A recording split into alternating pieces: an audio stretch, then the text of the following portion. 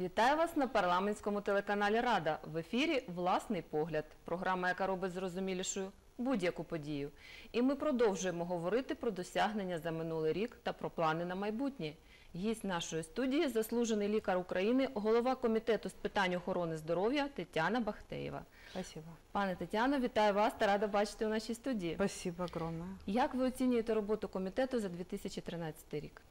Во-первых, разрешите мне тоже искренне поздравить нашу огромную, большую, я глубоко уверена, дружную 46-миллионную страну, Украину, с наступившим Новым годом. Искренне пожелать всем моим соотечественникам крепкого здоровья, добра, благополучия и мира. И обязательно иметь надежду, что у каждого есть мечты и надежды, и что они обязательно сбудутся в 2014 году. Спасибо огромное за вопросы. И, конечно же, если говорить о работе комитета за 2013 год, то я хочу отметить прежде всего то, что наш комитет по вопросам охраны здоровья э, вошел в пятерку комитетов, которые, в общем-то, проявили наибольшую активность. Это и по проведению заседания и по проведенным э, и рассмотренным и подготовленным законопроектам, поэтому мы вошли в пятерку.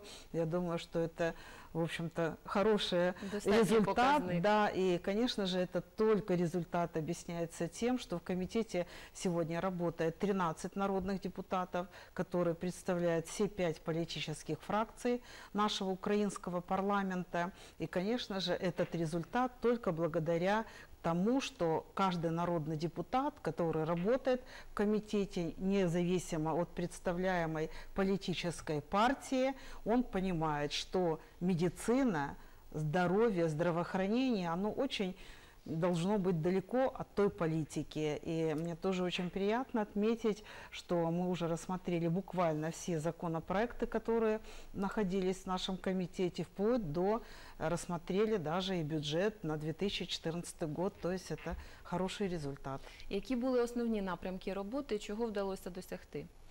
И все 13 народных депутатов, каждый имеет э, свой подкомитет и очень важные направления. Это направление туберкулез, это программа СПИД и ВИЧ-инфекция, это очень значи- зна- значимая и программа детских болезней. И вот тоже я хочу сказать, что каждый народный депутат, который э, не только возглавляет подкомитет, но очень активно работает. И в этом есть э, большой результат, то, что нами было рассмотрено около 160, э, больше, наверное, вопросов. И это не только законопроекты, но и э, те вопросы, которые мы рассматриваем в порядке контроля профильного комитета. То есть всегда это очень дружное составление плана работы.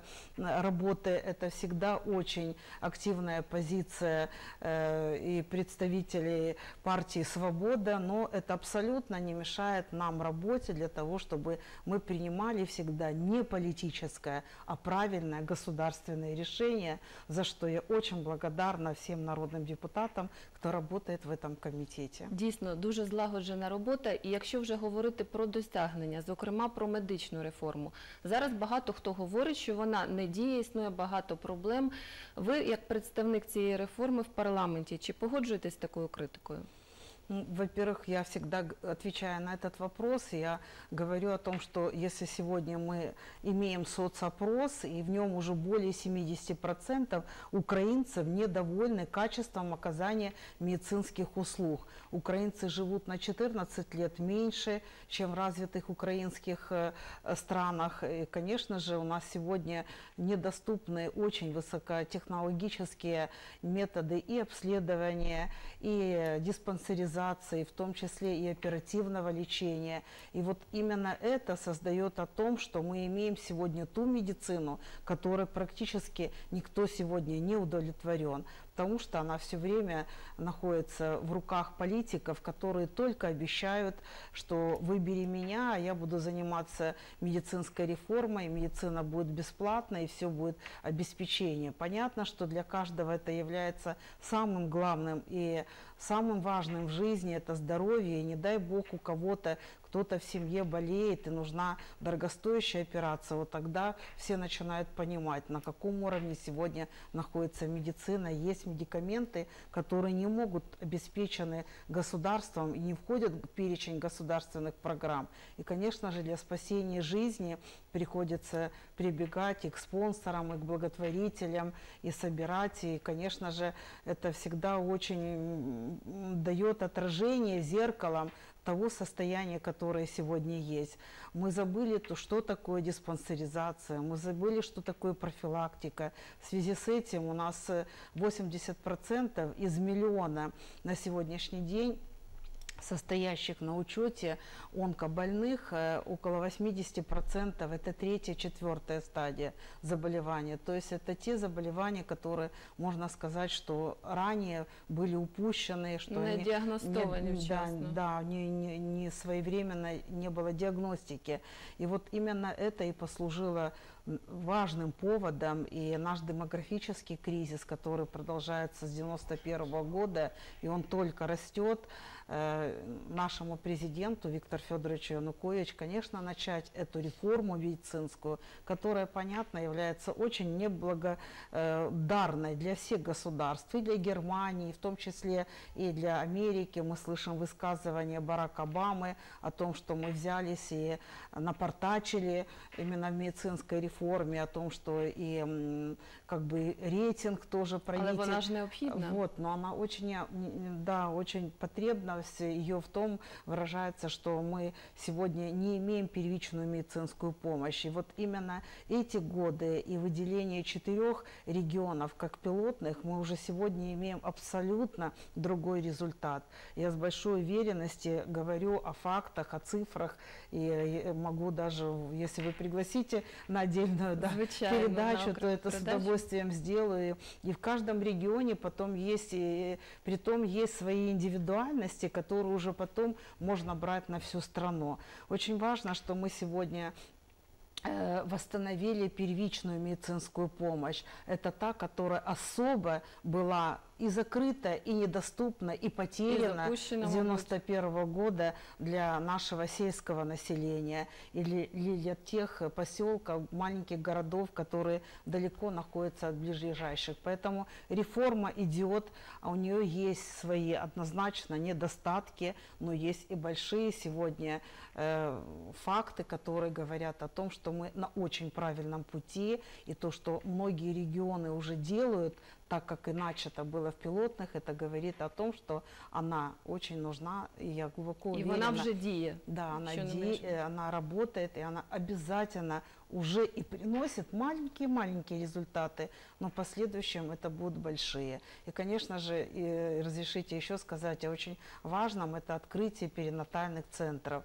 Это программа президента, уже открыто 11 перинатальных центров. В этом году планируется в 2014-2014 открыть еще э, 13. И, конечно же, то, что вот э, только в 11 перинатальных центрах родилось около 60 тысяч малышей.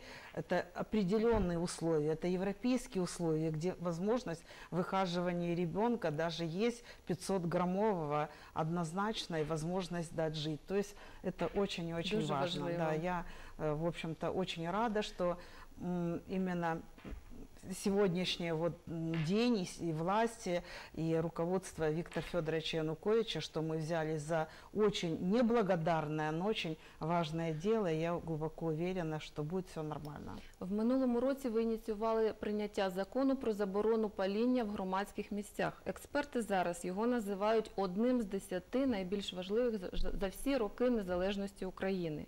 Яким є стан його виконання зараз? Спасибо. Я тоже очень горжусь, что этот закон, э, автором которого являюсь я, стал таким вот, ну, очень важным для моей страны. И я горжусь, что он приносит результаты.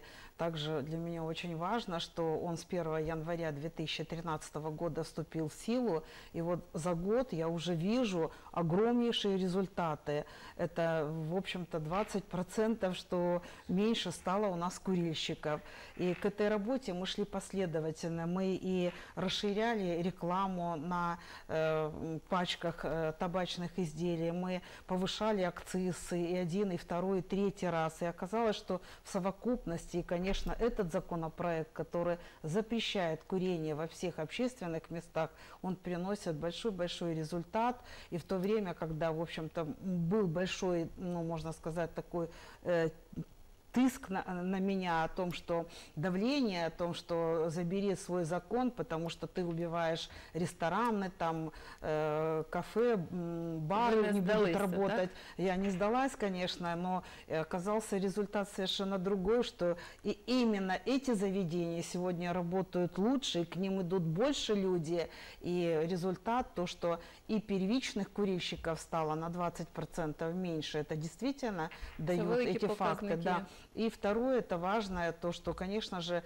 вторичный дым, он, э, табачный дым, он очень вреден для каждого человека. И то, что мы ограничили наших украинцев от этого, это очень, и э, я очень тоже рада, что этот закон, и когда мне приходится входить в какое-то общественное питание, все видят, и многие узнают, и говорят, это автор, это Татьяна Бахтеева, так что очень Це приятно, что это-.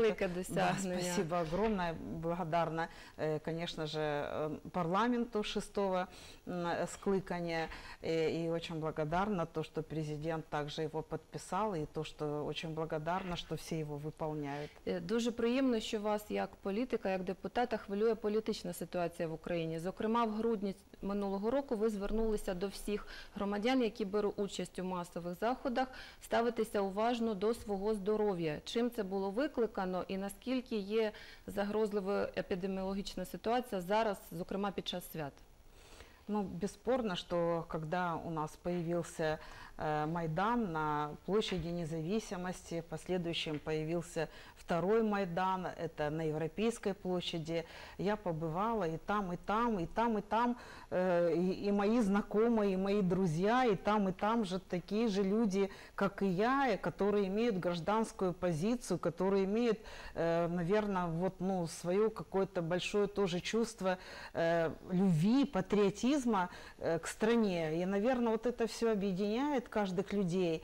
И, в общем-то, ничего в этом абсолютно страшного нет. Но, конечно же, видя, в общем-то, на сегодняшний день, во что это превратилось, когда это разбиваются окна, когда это ломаются административные здания, когда они сегодня являются вообще не жизнеспособными, то это, конечно же, очень неправильно.